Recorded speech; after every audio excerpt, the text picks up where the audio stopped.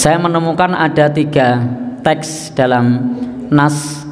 Yang pertama adalah di situasi paceklik itu fala yusbihanna ba'da salisah.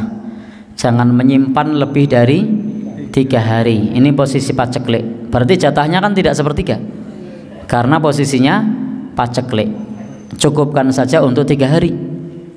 Maka sisanya bagikan sampai habis kemudian kita lihat di dalam surah Al-Hajj.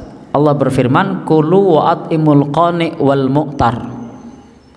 Makanlah berikan kepada orang yang tidak minta berikan kepada yang minta. Maknanya apa? Wa ya'kuluna bisulus. Dimakan oleh mereka para sahibul kurban sepertiga. Wa yahduna bisulus. Dan disedekahkan sepertiga. Wa yatasaddaquna sulusa. Dan juga sedekah sepertiga. Ada ndak nas lain? Ada. Yang sepertiga sepertiga ini tentu di situasi normal. Nah nas lain menunjukkan seperti ini. Kulu waddakhiru watasaddaqu makanlah simpanlah sedekahkanlah. Berarti porsi sedekahnya berapa? Sepertiga. Yang dua per tiga dimakan sepertiga, disimpan sepertiga. Ini tentu bukan dalam situasi normal.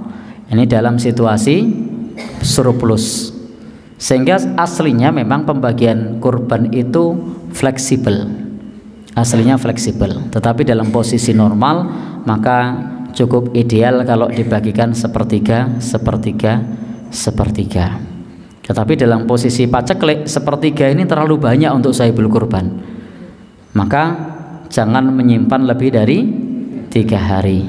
Tentu kalau dalam posisi surplus, kalau sahibul kurban itu terima sepertiga, bisa jadi yang kurban sama yang ndak bisa lebih banyak yang terima yang ndak.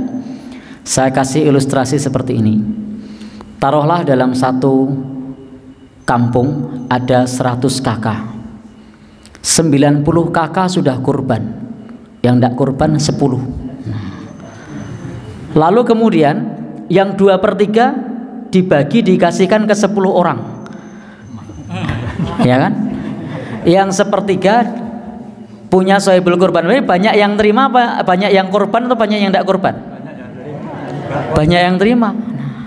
Karena 10 orang dapat 10 kakak dapat 2 per 3 sementara 90 kakak dapat sepertiga maka di situasi itulah Nabi bersabda makanlah simpanlah sedekahkanlah. Sehingga kalau posisi surplus memang oke banget malah luwe oke sing ora korban ora korban nompo luwe oke tentu juga ada pertimbangan pemerataan karena ada permintaan daerah lain itu bisa dipertimbangkan. Apa caranya? Bisa disampaikan kepada sohibul kurban ini jatah bapak sepertiga yang sepertiga silahkan disedekahkan kepada tempat lain. Nah itu surat permintaan itu dikasihkan biar dia milih sendiri mau ngasih yang mana misalnya. Jadi itu menjadi e, bagian dari apa sedekah uh, sahibul kurban biar milih mau dikirim ke mana atau diberikan ke tempat saudara-saudaranya di tempat lain. Sepertiga untuk sahibul kurban sepertiganya untuk saudara-saudara sahibul kurban di tempat lain sepertiganya untuk kampung setempat atau istihad yang lain. Monggo. Kalau memang situasinya surplus